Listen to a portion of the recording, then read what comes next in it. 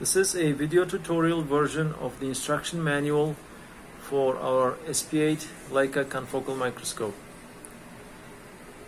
Power-up steps consist of turning these numbered switches on in order. 1, numbers 2 and 5, 2 through 5 are here. Then you're going to turn number 2 on. Allow 1 or 2 second gap between each switch.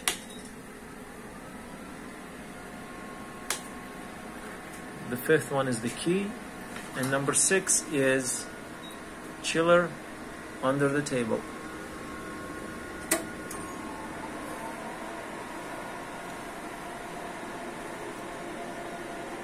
Once everything is initialized you're going to start the software.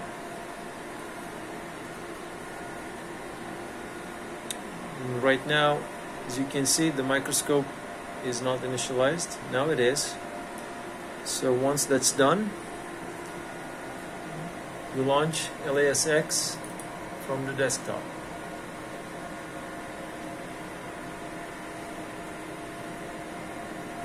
And there will be some options to choose. For regular confocal imaging, you're going to leave these three buttons in off position. Make sure that the configuration is machine scanning stage and microscope is DMI 8 click OK. And loading the software will take a couple of minutes.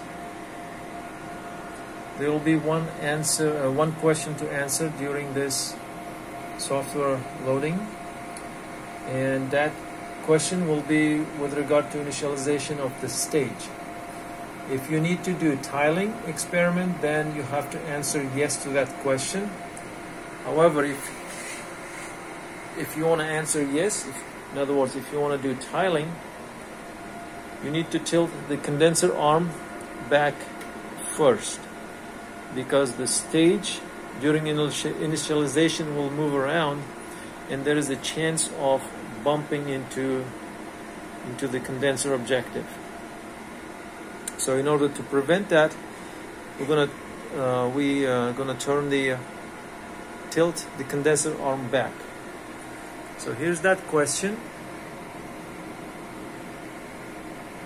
If you're not doing any tiling, then the answer is simply no.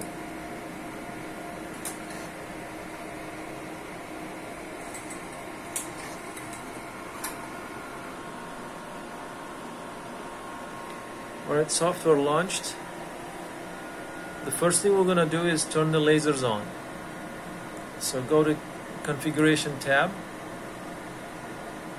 laser config and turn 405 and white light lasers on.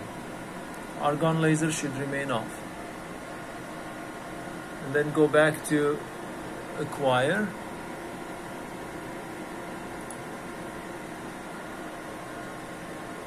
Click show sequential scan panel button this is the sequential scan panel. And then from here we're going to load pre-configured profile which is on drive D in folder acquisition profiles and from here you're going to load this default profile. You can refer to the printed version of the manual to learn about the other advanced profiles. It'll take a few seconds. Now as you can see, this profile is standard 4 channel or 4 sequence uh, imaging profile for DAPI, green, red and far red stains. It's best to select the objective from the software because we have two 40x objectives and the control panel on the microscope does not distinguish, does not show the immersion. So it's best to select it here. In this case, I'm going to use 63x objective. The next steps step is to load the sample.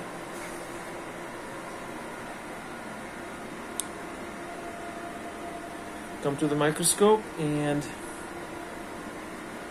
the speed adjustments for the X, Y, and Z should be set to XY fast and on the Z side Z coarse and then this is the knob on the side of the object uh, microscope which raises or lowers the objective. You need to make sure that the objective is lowered. Now it's going up now it's going down. So towards you counterclockwise lowers the objective. Once it's in lowered position you take your sample. In this case it is a sample of cells grown on a cover slip and sandwiched between a slide. Turn it over because it's an inverted microscope and place it carefully on the adjustable holder. Adjust the end if needed.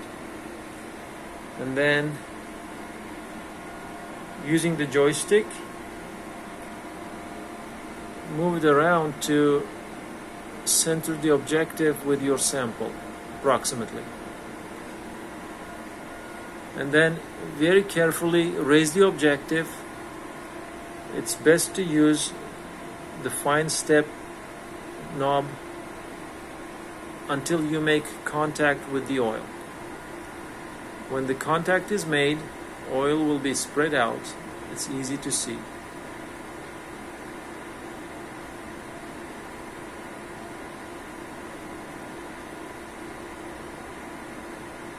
There you go.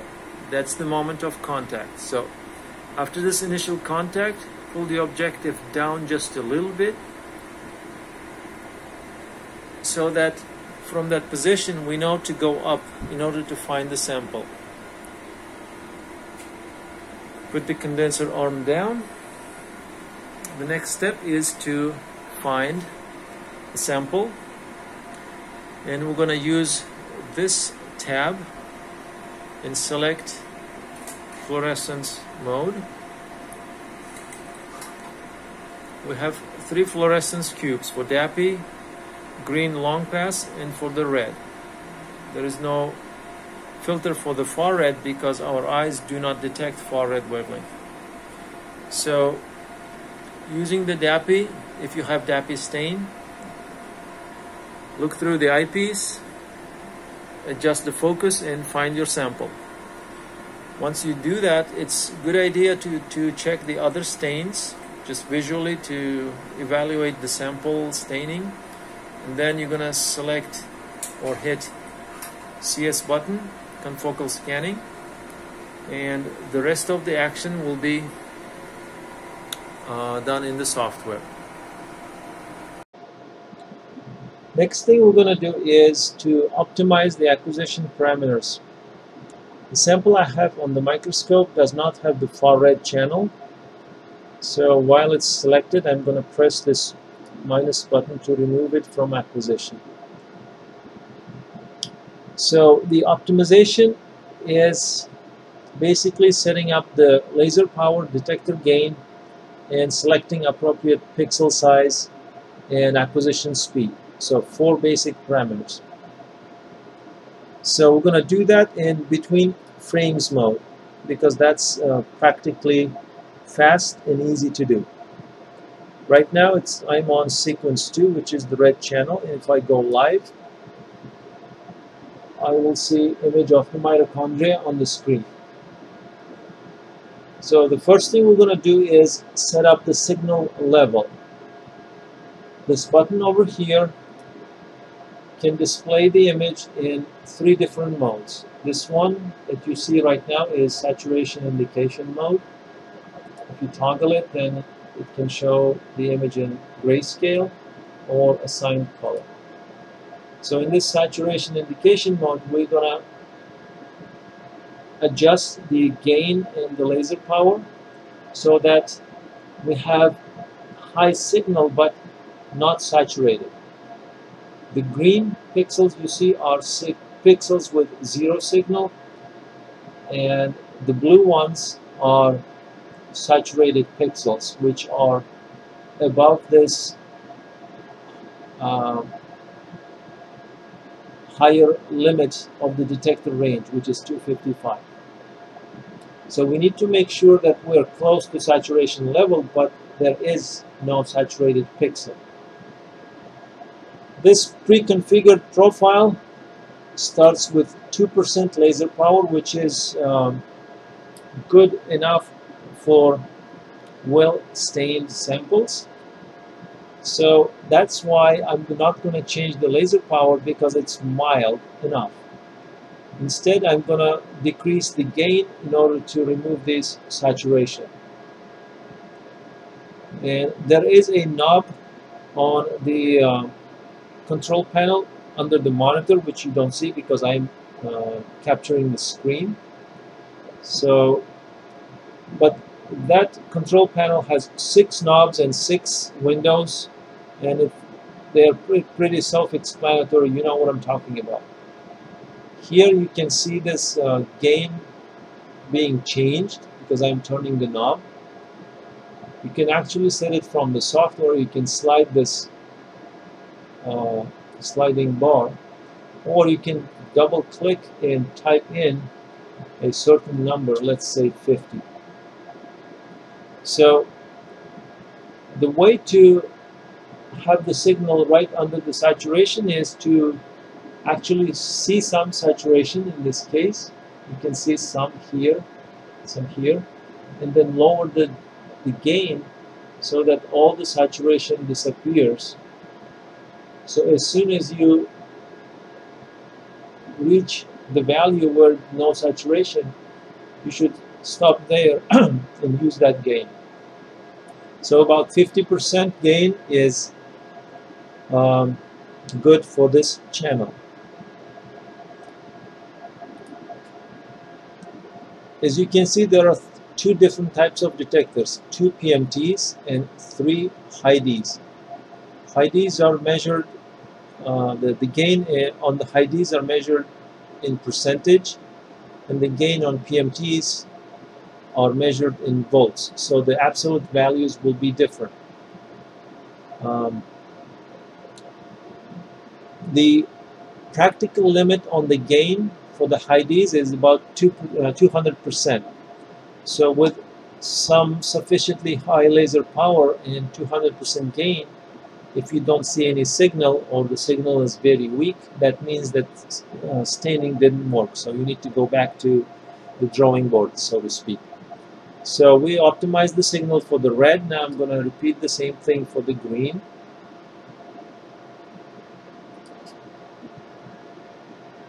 As you can see, I have no saturated pixels at all and the laser power is 2% and my gain is 100 which is the default starting value.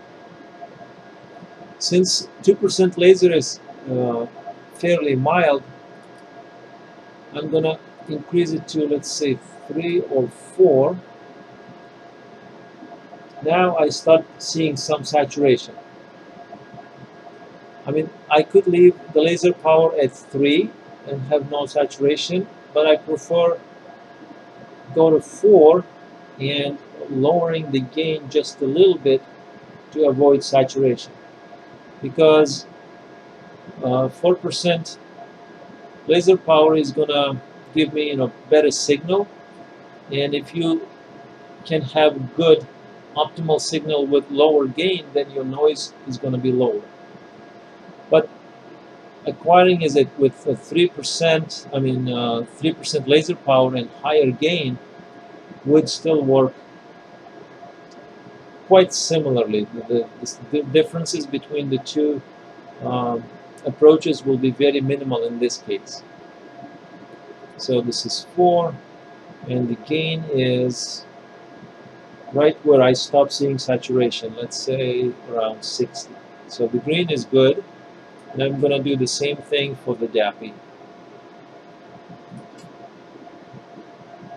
So DAPI is good. I'm going to, uh, so the laser power is 2%. I'm not going to change it. And I'm going to increase the gain. You see the volts are going up. So that's where the I'm starting to see some saturation and from there I'm going to back down where all saturation goes away.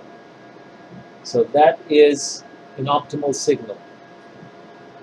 But make sure that you do this optimization step with the uh, full range uh, of the detector because there is this auto scale button and if it's pressed then the range is set to not for the uh, for the full range but to some portion of it then we can start seeing this false saturation for this uh, sub-range of the detector capacity.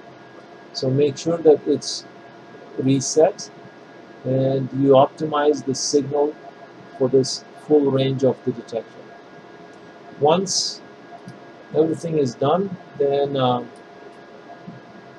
last thing would be to set the pixel size, acquisition speed, uh, and line average. So the pixel size is 361 for, for this format. In the printed version of the manual, there is a table with resolutions of the objectives.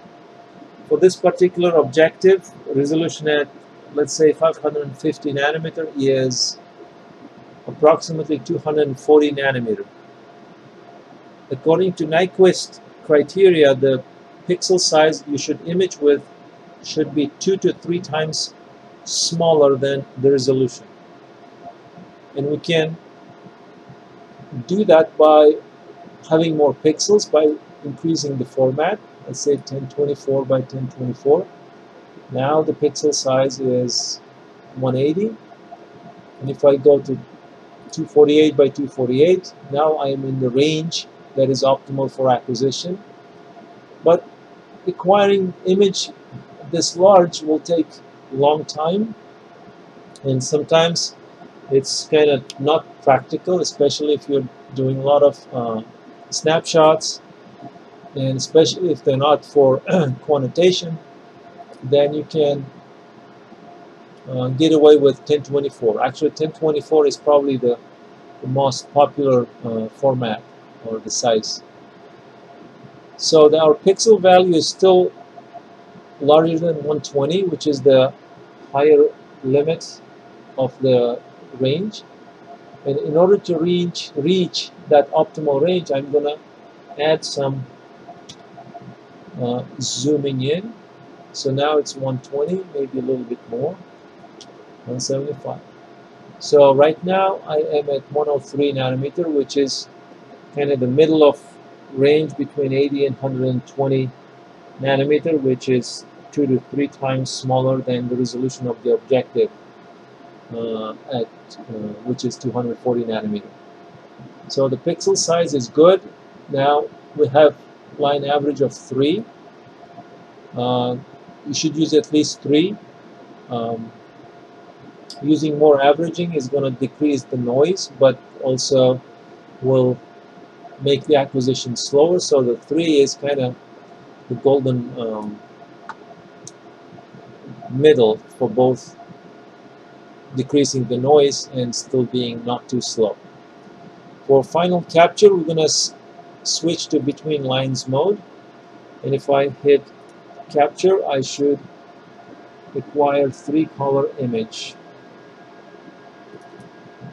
If you double click, you can switch between four window view or single window view.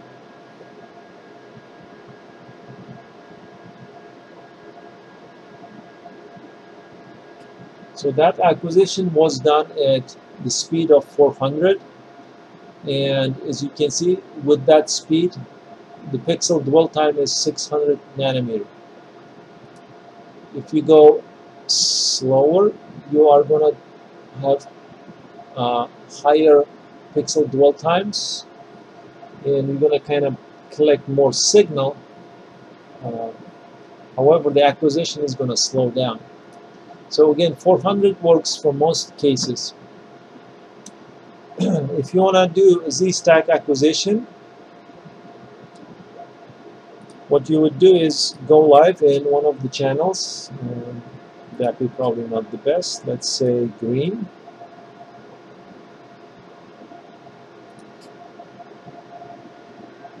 And I'm lowering the Z position to set let's say beginning position and then I'm gonna go up and go past the best focal plane set that as an ending position to move to the center to see the sample better so now I set up a range between these shown values for uh, Z-stack acquisition. And the Z-step size was system optimized or calculated by the system using this equation at, for this wavelength. You can use that or sometimes I like to do a little bit of oversampling. So I would change this to 0.25 or 0.2 um, then if it's Z stack then you cannot capture. Capture image button still takes one snapshot. Uh, make sure to switch back to between lines and now I have to press start button because start uh, executes this Z-stack experiment you just set up. So I'm not going to wait all the way to the end because it's just going to acquire all of the planes. Oh, by the way, this is the, uh, the auto scale button that I mentioned. So it is useful for visualizing the sample, but once you acquire this image and you are setting up the next one, make sure that you reset the range when you're trying to optimize the signal. So basically that is uh, all that you need to do to uh, start using or or use this as a reminder for uh, acquiring images on the confocal microscope.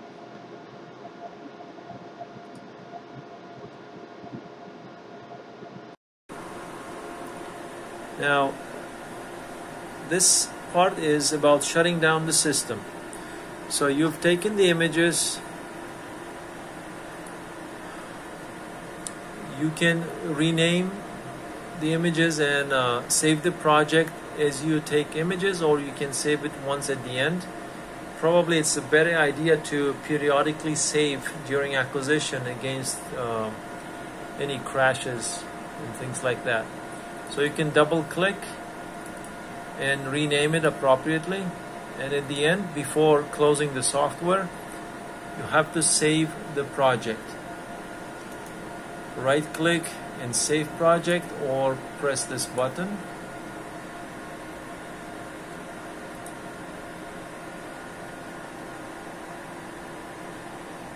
so once the project is saved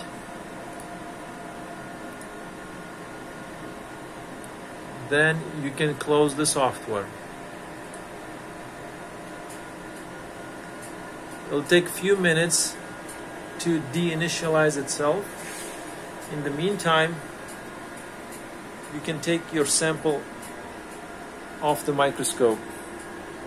Tilt the condenser arm back. Make sure you pull the objective down before taking the sample out.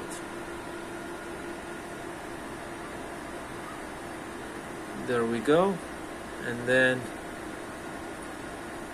carefully take it out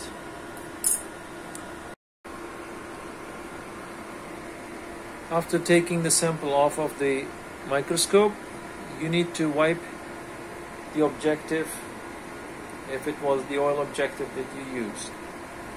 And for that we're going to use lens cleaning tissue never Kimwipe. And lens cleaning solution they are in this uh, dropper bottles next to the microscope.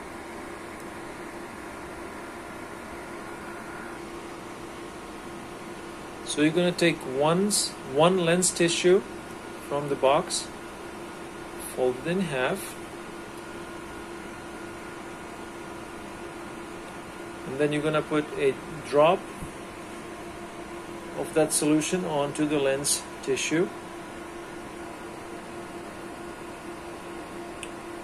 We'll be using your two hands, so uh, I'm trying to demo it with one hand. And then basically with the wet part, just gonna slide it over the objective and then with the dry part again with two hands. You're just going to slide it over the objective. Like such. There is no need to going back and forth or rubbing.